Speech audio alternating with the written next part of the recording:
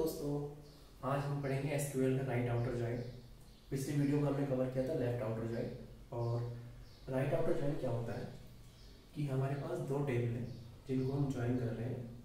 और उनसे जो डेटा चाहिए, वो कॉमन डेटा प्लस राइट वाले टेबल का सारा डेटा आना चाहिए। ठीक है? लेफ़्ट वाले टेबल का सिर्फ़ वो डेटा आना चाहिए, जो कि उसमें कॉमन है। बट राइट वाले टेबल का हमको सारा डेटा चाहिए। ठीक है? मैं आपको समझाता हूँ। ये मेरे पास दो टेबल्स हैं। टेबल ए टेबल बी अब ऑब्वियसली बात है कि टेबल ए के अंदर कुछ कॉलम्स होंगे टेबल बी के अंदर कुछ कॉलम्स होंगे। टेबल ए के अंदर सी वन सी टू है टेबल बी के अंदर सी थ्री सी फोर है। और एक कॉलम ऐसा है जो दोनों में कॉमन है, ठीक है? मतलब कि ए के अंदर सपोज़ करो सी फाइव का मेन कॉमन कॉलम है बट बी के अंदर वो एज ए फॉरन की तरह काम कर रहा है, ठीक है? तो अब मेरे को क्या होगा, मैं जो कंडीशन लगा सकता हूँ, वो कॉमन कॉलम के ऊपर लगा सकता हूँ तो यहाँ पर क्या होगा?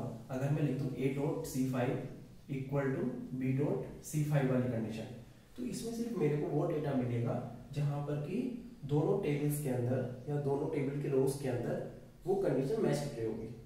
ठीक है? लेकिन मेरे को ये भी डेटा चाहिए, जिस डेटा के अंदर सी फाइव इसके साथ मैच नहीं कर रहा है। राइट साइड में कुछ ऐसे रोज हैं, जिनका सी फाइव वाला कॉलम ए वाले टेबल के सी फाइव वाले कॉलम से मैच ही नहीं कर रहा है।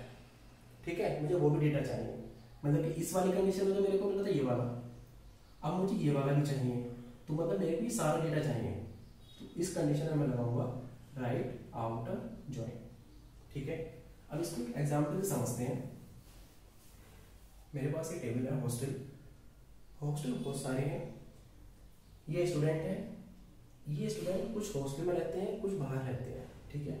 बट ऐसा ज़रूरी नहीं है कि हर हॉस्टल के अंदर बच्चा रहता ही रहता है। कुछ हॉस्टल खाली भी है, ठीक है? तो इन दो टेबल्स अगर आप देखोगे तो यहाँ पर हॉस्टल आईडी जो है वो एज अ फॉरन की काम कर रही है बट यहाँ पर वो प्राइमरी की है, ठीक है? तो वन का जो डेटा है वो यहाँ से आ रहा है थ्री का यहाँ से आ रहा है। कुछ है बच्चे जो किसी भी हॉस्टल में नहीं रहते हैं। अब मेरे को एक ऐसी क्वेरी लिखनी है, जिसमें आप मुझे ये बताइए कि सारे हॉस्टल्स के अंदर कौन कौन बच्चा रह रहा है कौन कौन से खाली है, ठीक है?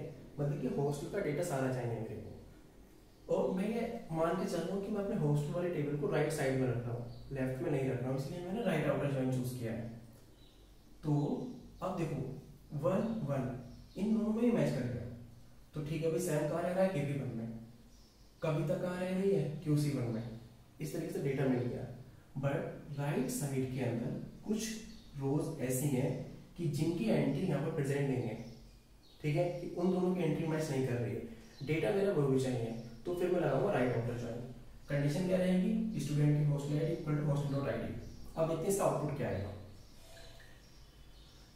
output student ID one Sam KP one हाँ three Kavita QC one five Harsh KP one one अब इसके बाद भी कुछ है जो हॉस्टल जिसमें कोई नहीं रहता है। जैसे कि K P two Q C two guest house यहाँ पर कोई भी नहीं रहता। तो इस वाली क्वेरीज का ये हमारा आउटपुट होगा। मतलब कि उसने हॉस्टल के नेम सारे चूज़ कर लिए बट स्टूडेंट का वही है जिसमें कि वो लोग रह रहे थे।